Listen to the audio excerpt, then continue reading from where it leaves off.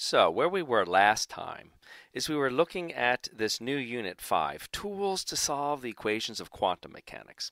And we had finished up developing a general solution to the time dependent Schrodinger equation.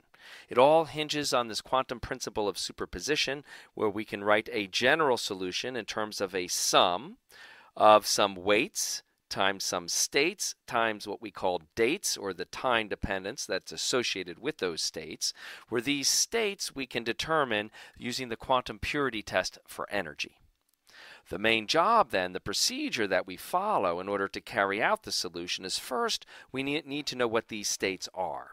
To get those, we look at the quantum purity test for energy, and that constitutes what's called the time independent Schrodinger equation. So the first task is to solve that equation. Then we saw how once we have those solutions, we can construct the above superposition, and then we choose these weights in order to match our initial condition. In the uh, example of a free particle, that initial condition was an incoming wave packet. And then finally, once we have the full solution written down, we then begin to use our quantum kinematic framework to analyze the results. So, our focus today, then, really is to learn how to solve the time independent Schrodinger equation. And what you will see as we go through this solution of a particular example, but I will I will try to go through it in a general way, pulling out the general lessons and tools that you would use to solve this equation under uh, arbitrary circumstances. The key theme that's going to come out is that you have to pay a lot of close attention to boundary conditions. There's a list of known boundary conditions that are required in order to complete our solution and we will go through those and we will be putting boxes around those to emphasize them that they apply quite in general. Now, Getting more towards the example that we were in the midst of working through, I've copied down for here our time independent Schrodinger equation. So this is the equation that we would solve in general. In particular, we're working right now through this example of what happens when a particle hits a potential step. What we meant specifically by this is that there was some potential v of x, right, which is zero in this region.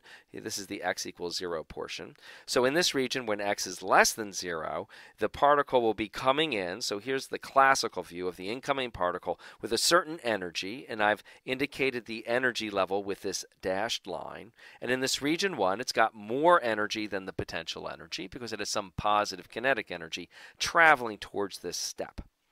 In the second region, in region 2, the potential takes a sudden upward step.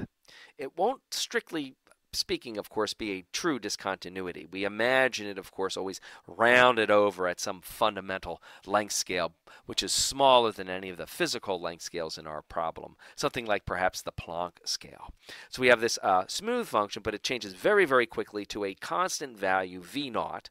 And, and we're setting this up so that in this region 2, we have what's called a classically forbidden region.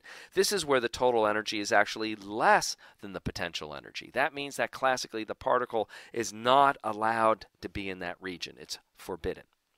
We then considered what we would expect to happen under either classical physics, where we send in our particle, or quantum mechanics now, where we would send in a wave packet representing a probability distribution for our particle, traveling along like our particle in free space until it hits the step. Now, when either of these two scenarios hits the step, let's first focus on the classical case.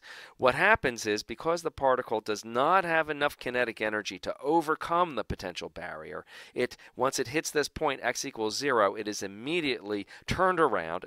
It feels a very strong negative force corresponding to the slope of this very large positive slope. There's this large negative force which turns the particle around and sends it back in the other direction.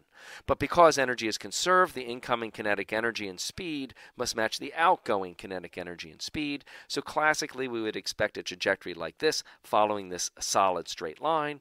And we decided just to time things, so we will call time t equals zero the point where a classical trajectory actually hits the step. So it would come in with a positive velocity, then it comes out with a negative velocity. The quantum mechanical case, as we will learn, is something quite different. So this is kind of fun. This is the first time we're really making a prediction with our theory of a phenomenon that we haven't seen before. In this case, what we will find is that things aren't quite that way. The particle isn't suddenly turned around instantaneously at a point, and in fact, the center or peak of the packet um, can actually follow a path like this where it can temporarily penetrate into the classically forbidden region, but eventually the correspondence principle kicks in and the particle will be completely rejected from the region, which means its probability packet then has to be centered at locations that then travel along like this. The particle will then be coming out. There will be an outgoing wave packet traveling in the opposite direction, and it will actually travel with the same speed uh, that the classical particle would come out with, reflected. And the signature that we will ultimately be looking for that tells us that we spent some time in the forbidden region is that there is going to be some time delay in the passage of the peak of the packet relative to what we would have expected um, from just the classical trajectory. Very good. So now let's begin our analysis. Our focus really is on how we solve this time independent Schrodinger equation. Now, our basic approach to solving any new type of problem is always to first isolate the most complicated piece of your equation on one side of the equation, and then to put all the more easily known or understood behaviors on the other side of the equation. So, the most complex thing here that I haven't really uh, uh, might be most problematic, of course, is this derivative. So let's solve for that der the derivative. So the second derivative then of my wave function with respect to x must equal so to isolate this, what I will do is I will put this term on the other side of the equation where it shows up with a minus sign. So I will have e psi minus v psi, and there's two factors of psi I can factor out. So this will become e minus v of x. It's a minus because we've moved it to the other side of the equation, multiplying my wave function. So that's e minus v acting on, on, on my wave function. Now, to solve for the second derivative, I also had to clear this fraction, so I'm going to multiply both sides by minus 2m over h bar squared. Now, just one final step consideration before we begin to consider what happens in the different regions, and that is to notice that we can simplify this already a little bit. We have this complicated looking partial derivative, but notice something very nice here that we are solving the time independent Schrodinger equation. There is no time appearing anywhere here in this equation. In fact, what we are solving for are pure states of energy. These are pure kinematic states, they have no time dependence. So therefore, this partial derivative only has x as a dependence. So the partial derivative is the same actually as the total derivative. So we can simplify this a little bit. And let's denote that by uh, noting down our standard derivative notation for just total derivatives. So I'll use the prime notation. So phi double prime just means two derivatives with respect to x, then takes on this generic form minus 2m over h bar squared times the energy minus the potential, wherever I might be, times phi of x. Very good. So now we're ready to consider the behavior of this equation in these very two different types of regions, region 1 and region 2.